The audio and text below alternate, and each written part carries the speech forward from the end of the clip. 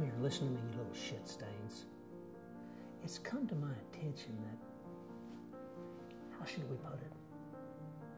Things are ailing in the Greek community. I mean, what do we got going here? Hair gel, ear piercings, body piercings. You got no self respect. You got no pride. I mean, it's as if you got a dick and a brain and you only got enough blood to run one at a time. No understanding, no tradition.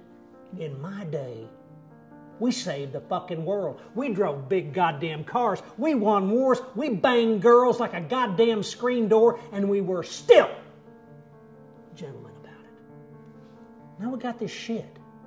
The media, liberals, the tearing up of the Constitution, California, and the Greek community on the brink of falling apart. Where do I stop? The list could go on and on and on and on. Let me tell you, I'm goddamn sick of it. Once upon a time, there was this thing called brotherhood. It wasn't about dick thumping contests or how fucking frats you thought you were.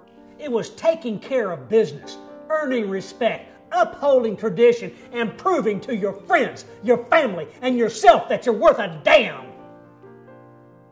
So do this. Take this as your pep talk, kids. Drive a fucking Tahoe. Wear your pastel shirts. Go to the sorority formals. Rage. I mean, fucking rage. And live your goddamn lives to the fullest.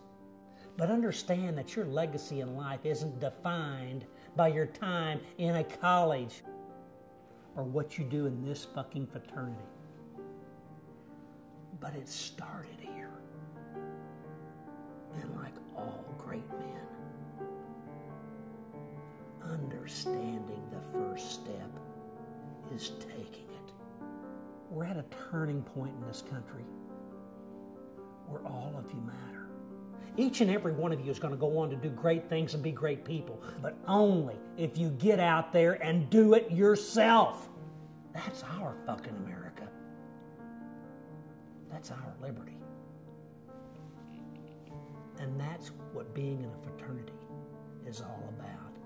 So nut up, you little fuck sticks, and prove to us all that you're worth a damn.